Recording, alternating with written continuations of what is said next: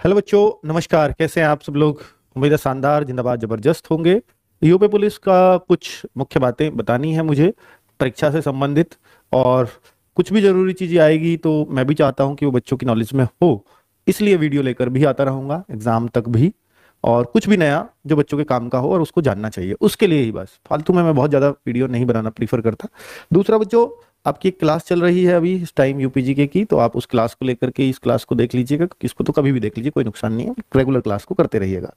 अच्छा अभी मैं बात करूँगा, देखिए, एक तो मैं पूरी ओएमआर सीट जैसे मैंने कल आपको बोला था कि मैं ओएमआर सीट बिल्कुल वैसी ही बनवा लूँगा और ओएमआर सीट की वजह से भी सात आठ लाख लोग परेशान होंगे और वो बाहर होंगे। तो ये बात जब मैंने बोली है तो फिर शाम को यूपी पुलिस की भर्ती बोर्ड की ऑफिशियल वेबसाइट पे भी ओएमआर का ज़िक्र आ गया और ओएमआर भरने के तरीके भी बता दिए गए। ये बहुत अच्छी बात है। मैं ये नहीं कह रहा कि मेरी वीडियो देखकर ही उन्होंने, वो भेज दी है। नहीं, पर मैं इतना ज़रूर कह रहा हूँ कि हमने वीडियो बनाया और वो भी शाम को साथ में आ गए तो ये बहुत अच्छी बात है बच्चों के लिए। तो अभी मैं ओ सीट भी उसी पैटर्न पर जिसपे यूपी पुलिस जैसी OMR आएगी, वैसी ही OMR आपको बना के लाया हूँ और अपने व्हाट्सएप चैनल पे भेजूँगा भी, जो मैंने कल आपको लिंक भी दिया था उस व्हाट्सएप चैनल का और इस वीडियो के डिस्क्रिप्शन में, जैसे मोर पे क्लिक करेंगे ना, जब वीडियो देखते हैं तो छोटी स्क्रीन पे तो मोर आएगा लिखा, वहाँ पर व्हाट्सएप चैनल का लिंक लगा हुआ है। ठीक है?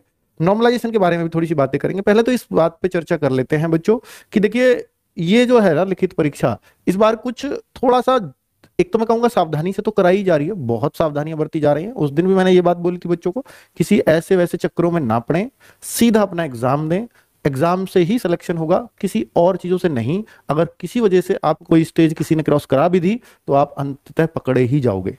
ठीक है? तो जीवन ही खराब होना है। तो ऐसे वैसे चक्रों में मत पड़िए, चाहे सिलेक्शन मिले या ना मिले। ठीक है? चलो, अब मैं बात कर लेता हूँ इस बात की कि भैया पिछहत्तर जनपदों में सेंटर्स हैं और दस से बारह और तीन से पाँच। दो शिफ्टों में एग्ज़ाम होगा, सबको मालूम है, दो घंटे की परीक्षा है।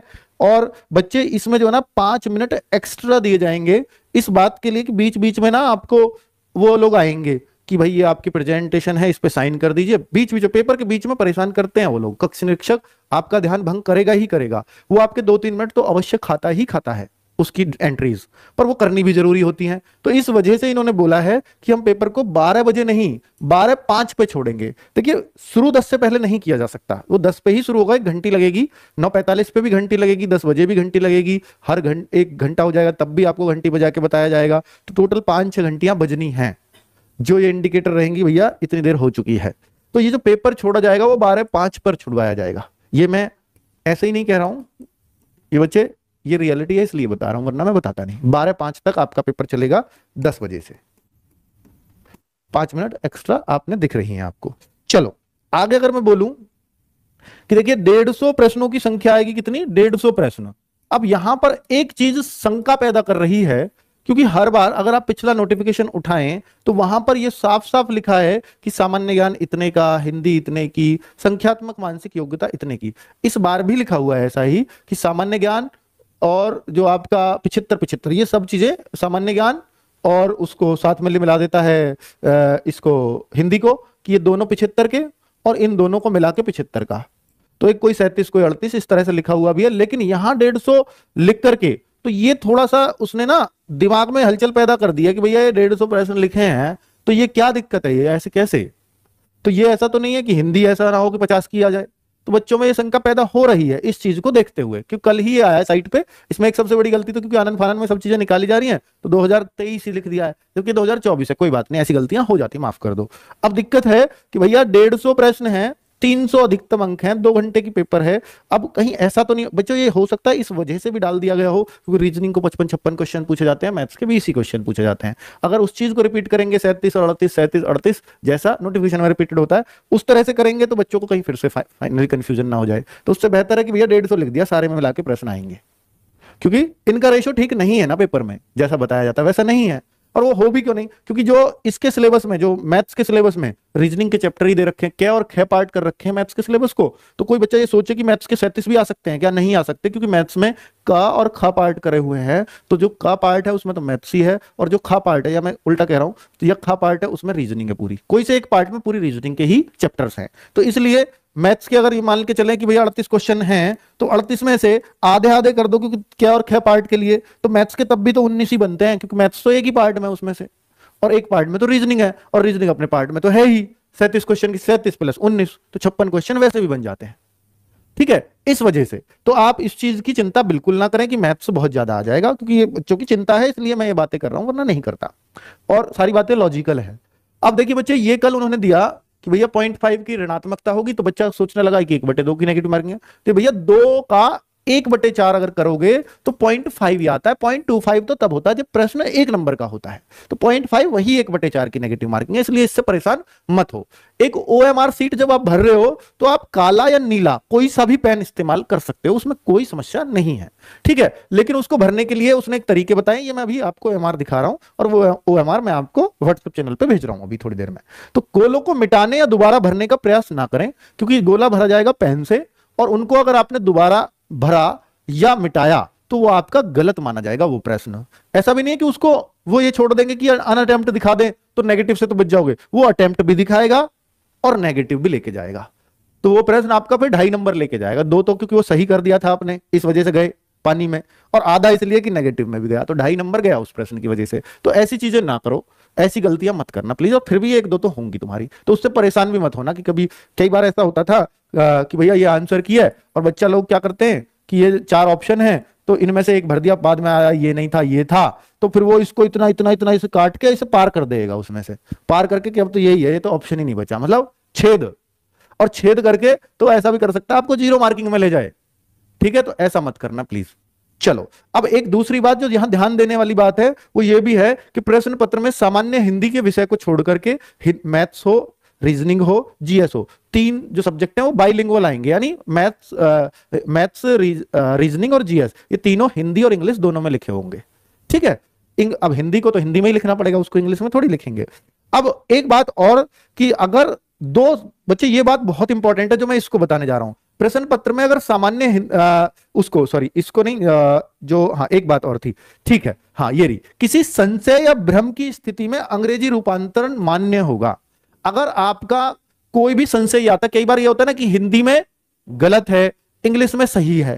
भाई प्रश्न आपको अगर इस स्थिति में हो आप और आप ये साबित कर दो कि ये प्रश्न ही गलत है तो फिर आप उस प्रश्न को इंग्लिश में ज़रूर पढ़ लेना। आपके सर इंग्लिश तो हमें आती नहीं है पर थोड़ी बहुत भी अगर आती हो या ना आती हो, तब भी एक बार पढ़ लेना अगर समय बच रहा हो आपके पास। तो वो इंग्लिश का वर्जन मान्य होगा उसका। वो ये कह रहा है, हिंदी का वर्जन हम मान्य नहीं रखेंगे। जबकि यार, यूपी में तो हिंदी का वर्जन ही मान्य करना था, पर वो इंग्लिश का ही मान्य होगा। ये लिख दिया यहाँ, इट मीन अब आपको वही फॉलो करना होगा। अगली बात है, प्रश्न पत्र में किसी प्रश्न के गलत होने या प्रश्न के सभी उत्तर विकल्पों में ना मौजूद होने, ये स्थिति बनेगी हंड्रेड परसेंट पेपर भी आनंद फानंद में बनाए जा रहे हैं। तो ज़ाहिर सी बात है कि दो तीन प्रश्न तक भी गलत हो सकते हैं। और ऐसा भी हो सकता है इस प्रश्न के उत्तर चार हैं, चारों ही ऑप्शन में नहीं है। मतलब जो उत्तर है वो ऑप्शन में है ही नहीं। तो उस प्रश्न को पहले क्या हुआ है? अब से पहले यूपी पुलिस में फुल मार्क्स में काउंट हुआ है कि फुल मार्क्स दे दिए जाते थे। अब फुल मार्क्स नहीं होगा। इन्होंने बोला कि उस प्रश्न को हम काट ही देंगे। मान लीजिए कि भैया अगर जो है चार प्रश्न गलत आ गए। तो चार प्रश्न यानी मतलब एक ही प्रश्न सही है। तो आपका 300 में से ना होकर के पेपर दो सौ बानवे का पेपर हो जाएगा। अब दो सौ बानवे में से नंबर होंगे काउंट अब अब बच्चे सोचेंगे सर ये तो गलत हो जाएगा क्योंकि आ, दूसरी शिफ्टों के तो हो सकता है उसमें एक गलत आया हो हो सकता है दो गलत आए हो या एक भी गलत ना आया हो उसके तो 300 में से मार्क्स होंगे हमारे दो सौ बानवे में से होंगे। ये तो हमारे साथ अन्याय हो जाएगा उसके साथ जिसकी शिफ्ट में ऐसा हुआ। तो उसके उसकी उसके बराबर करने के लिए होता है नॉर्मलाइजेशन नॉर्मलाइजेशन क्यों होता है? इसी कारण तो होता है। तो इन बच्चों के फिर मार्क्स वैसे भी बढ़ जाएँगे। क्योंकि इनके मार्क्स औरों के मुकाबले तो कम ही रहेंगे। ऑब्वियसली बात है, वो 300 में से पेपर कर रहे हैं, दो में से कर रहे हैं। ठीक है? तो इस वजह से बच्चे नॉर्मलाइजेशन का फिर उस शिफ्ट को थोड़ा बहुत, अगर वो शिफ्ट और के लेवल की है तो हो सकता है वो आसानी हो तो वो फिर तो फिर फिर तो कुछ नहीं होगा। शिफ्ट अगर आसानी है तो। तो वो नॉर्मलाइजेशन उस चीज़ को ही बैलेंस करने के लिए होता है एग्ज़ाम में। तो चीज़ें अच्छे के लिए ही की जाती हैं। और उसके नेगेटिव इंपैक्ट भी होते हैं। ठीक है? वो बात अलग है। अब देखिए नॉर्मलाइजेशन का जो फॉर्मूला लगेगा, ऐसे तो कि वही सही उत्तर कितने हैं, निर्धारित अंक कितने हैं और सही प्रश्नों की संख्या क्या है? इस तरह से नॉर्मलाइजेशन करके निकालते हैं। और ये कोर्ट नहीं बताया था, इस फॉर्मूले से चले यही बात इसमें लिखी हुई लिखी हुई है। ठीक है तो अब इस फॉर्मूले को तो क्या ही लगा के दिखाऊँगा आपको। अब मैं आ जाता हूँ अपनी ओ सीट पर। तो बच्चों, ये ओ सीट देने वाला हूँ और ये मैं किस आधार पर बनाई है मैंने? जो इन्होंने कल बोला है। उस आधार पर ही बनवाई है और इसलिए मैं कल भी मैंने वीडियो में बताया था कि मैं लेके आ रहा हूँ। तो बच्चे, अभ्यर्थी का हिंदी में पूरा नाम तो यहाँ अभ्यर्थी का पूरा नाम हिंदी में आ जाता है, अभ्यर्थी के हस्ताक्षर। अब हस्ताक्षर होंगे तो हिंदी में करें, इंग्लिश में। तो वो कोई दिक्कत नहीं है। आपने जैसे फॉर्म भरते टाइम किए होंगे, वैसे कर दीजिए। चाहे वो हिंदी में हो, चाहे इंग्लिश में। आपके वो दोनों में किए थे हमने तो तो इनमें से यहाँ कोई से में भी कर दीजिए। लेकिन एक बात ध्यान रखना, क्योंकि ये ये बात आई नहीं है उस ओ सीट में। वहाँ एक बात देख लेना कि ऐसा भी हो सकता है, वो लिखा रहे कि हिंदी में। तो जब अभ्यर्थी का हस्ताक्षर उन्हें हिंदी में ही चाहिए तो फिर हिंदी में ही करना। यह मत कहना कि किसी में भी कर सकते हैं, अंकित सर ने बोला था। तो क्योंकि यूपी के बहुत सारे पेपर्स में ऐसा आता है कि अगर हिंदी में हस्ताक्षर मांगे गए हो तो वो लिखेगा कि हिंदी में चाहिए। ठीक है? और नहीं लिख रहा है तो फिर आप किसी में भी कर दो, दोनों यहाँ मान्य होंगे। अब अगली बात, परीक्षा केंद्र कोड, ये केंद्र कोड कहाँ से मिलेगा? ये आपके एडमिट कार्ड पे आता है। तो उस पर जो बच्चे, ये भरना कैसे होता है?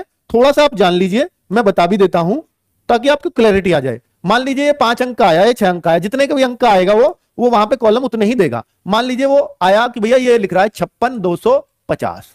तो मैं यहाँ पे पहले भर देता हूँ। बच्चा क्या करता है? छप्पन दो सौ पचास, पहले पाँच भरने लगेगा, फिर छह भरने लगेगा। तो भाई पहले आप भर दो, तभी वो गलती के चांस कम रहेंगे। जैसे पाँच छह दो, पाँच ज़ीरो, छप्पन दो सौ पचास, बाहर मत निकालना, मेरे पास जगह कम है, इसलिए मैं ऐसे कर रहा हूँ। तो अब देखिए भाई सिंटू लगा देना। तो जैसे इनमें से जहाँ भी गोला पाँच का होगा, वही भरना है इस लाइन में। पाँच के नीचे पाँच ही फिल करना है। तो ये मैंने पाँच फिल कर दिया। अब जैसे छह है तो छह जहाँ होगा, वही मेरे को फिल करना है। तो एक लाइन में एक अंक के नीचे एक ही गोला फिल होना चाहिए। अगर आपने इसको दो को यहाँ फिल कर दिया तो ये पूरा गलत है और आपको ज़ीरो मिल जाएगी। आपको ज़ीरो नंबर मिल जाएगा अगर इसमें आपने एक लाइन में दो गोले फिल कर दिए तो। ऐसे तो हो सकते हैं, पर ऐसे नहीं हो सकते। तो ये दो नीचे जो है, यहाँ भर दिया। पाँच इसके पास भर दिया। ज़ीरो कहाँ है? ज़ीरो कई बार नीचे भी होगी, कई बार ऊपर। इसका बड़ा कंफ्यूजन हो जाता है। भाई देख लेना, इस गोल इनमें लिखी हुई होती है। तो यहाँ पे ज़ीरो ऊपर ही लिख रही है। तो मैंने ऊपर भर दी। अब ये मेरे गोले बिल्कुल ठीक भरे हुए हैं। ये बिल्कुल राइट एंट्री है।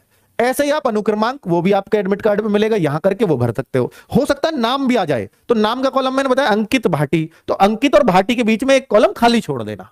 ठीक है स्पेस के लिए। तो फिर ऐसे ही वहाँ ए भर देना एन भर देना, नीचे दूसरे कॉलम में के भर देना। तो भाई एक एक चीज़ इसलिए बता रहा हूँ ताकि बहुत सारे बच्चे अनजान होंगे ऑफलाइन पेपर दिए हुए किसी किसी बच्चे को बहुत दिन हो गए होंगे। तो वो, और ये आंसर ये ओ मैं इसलिए भी दूँगा, दस तारीख को आपका एडमिट कार्ड आ जाएगा। इस ओएमआर पे, इस बार का संडे का पेपर इसी ओएमआर पे करना।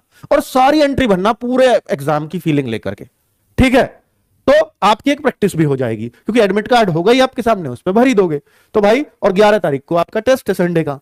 तो ये प्रश्न पुस्तिका क्रमांक ये कहाँ से मिलेगा? ये आपको पेपर से मिलेगा।